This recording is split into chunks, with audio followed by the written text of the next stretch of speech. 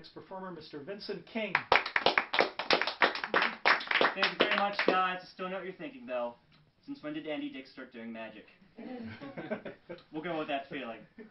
First off, I want to introduce you to an old friend of mine. He's actually an old vaudevillian. He performed with Thurston, he performed with Kellar, he even slummed around in the back pocket of Harry Houdini very briefly. I want to introduce you to a good friend of mine, hopefully a good friend of yours, Jerry the Handkerchief. Jerry. Jerry, how you been, man? Oh, good, that's good. I'm good, too. Uh, what have you been up to? Real estate, really? No, I do not want a timeshare. uh, Jerry was famous for doing one trick better than a- two tricks better than anyone else. Like three. Okay, some were better than others. Okay, but uh, well, I'll show you. Uh, Jerry, of course, was renowned for his uh, hypnosis act. Observe. Jerry, act like a handkerchief. Utterly convincing. The other one he learned from Houdini himself. Houdini famous for being locked in prisons, chains, barrels, and just about anything he could lock something up in. Jerry here got locked up merely in himself. A feat only a handkerchief can perform, but being a handkerchief, he could always write himself out just like that. But my favorite thing Jerry used to do was his card magic, which some of you may think is impossible without imposable thumbs, but Jerry made it work. So tell you what, let's pick on Caitlin. Go ahead, reach right inside there, pull out any card you like. That one there, that works. And tell you what, just to make it interesting, we're going to have you go ahead and sign that Front or the back? on the front. Okay. This one? Mm-hmm. Jerry, no peeking. Okay. And I'm going to let you place it back anywhere you like. Ladies and gentlemen, please remember Caitlin's card. Caitlin, please remember your name. We have enough to worry about as it is. I'm talking to a handkerchief. All right, ladies and germs. Now the plot thickens. Jerry shall now blindfold himself. In himself. A feat, again, only a handkerchief can perform. As he goes to find Caitlin's you're gonna make me pick this up, aren't you? Handkerchiefs. Alright. Here goes. Hopefully none of those were yours. I didn't notice Caitlin sprawled on any of them, so let's hope. Alright. We'll tie him up. And Jerry, are you ready? Jerry's now using every fiber of his being to find one and only one card. Which is really interesting because Jerry's being actually is fibers. He's finding that one card and passing it through himself, we must suffer for our arts. Here it comes. I'm not sure, but Caitlin, is that your six of spades? Ladies and gentlemen, Jerry the handkerchief. Okay. Okay, uh, I need uh, a volunteer who's not 100% cotton, so I'm going to pick on Shay if I can.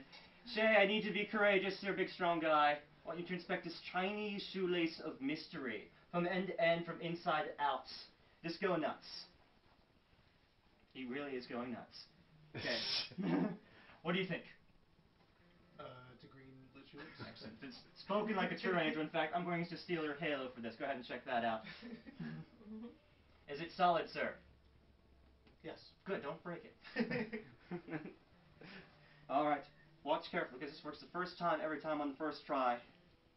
Just like that. Yeah. Impossible penetration. Shoelace onto ring. That goes by a little quick, so I invite you to watch either the ring or the shoelace, or in Shay's case, hold on to the shoelace nice and tight, so that way you can watch the ring as it does this, just like that. Hmm. Awesome. hmm Ah, I'll tell you what, I, I have to confess, this isn't really a Chinese shoelace of mystery. I just made that up. It's actually a Chinese snake. The world's flattest snake. It's got a head, it's got a tail. In fact, if you grab onto that end there, I'm guessing that's a tail, and we're actually going to wrap that up once there, you actually see the point where it penetrates the ring. Okay, so hold on tight, I'm going to pull on three. One, two, three. Right there, into the center. Another impossible link. But wait, there's more. If I tie the snake once, and twice, we'll see something even cooler still, because if I grab the ring right there, hold on tight, Shay, we can still remove it. Would not be outdone, the Chinese snake will do that again. Just make a little loop to make him smile, just like that. We get the convenient Chinese shoelace carrying bag. of the snake. Thank you very much, Shay. You have a seat there. Now, folks, so far we've seen a lot of magic, and uh, judging by your applause, so far so good. Uh, but I also want to share with you one of my favorite hobbies drinking. Well, drinking and shooting pool. You see, these things go together, believe it or not. Because somewhere between the two to four beer range, I am phenomenal at pool.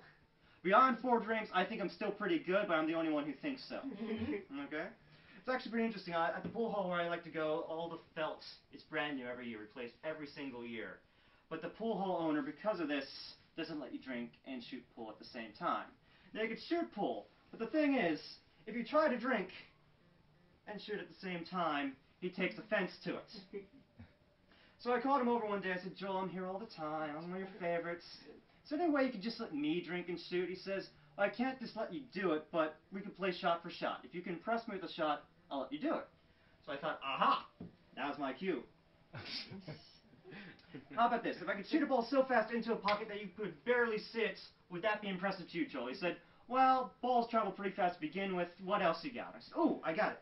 What if I could shoot a ball into a pocket and have it kick right back out again? He says, well, I've seen that too. I said, well, what if I shot into one pocket and it come out another one? He says, you're getting better, but I need something even cooler still. So I said, well, Joel, put out your hand. If you could play Joel for me. The lovely Caitlin playing Joel, and just put one finger on top, just like that, okay? Said carefully, I took my wand, also a convenient pool cue, ran it over, made the ball invisible, and shot it so quickly into the cup that she's making a face. Go ahead and lift it up. he had it. Yeah, that's good to Oh, see, he caught me though. He said I'm a magician. He said, Vince, I know you're using an extra ball. I said, I can't use that ball. I need a regulation ball. That's when you play pool. Ladies and gentlemen, my name is Mr. P. I hope you enjoyed yourself. Thanks for being our audience and uh, Semper Fi.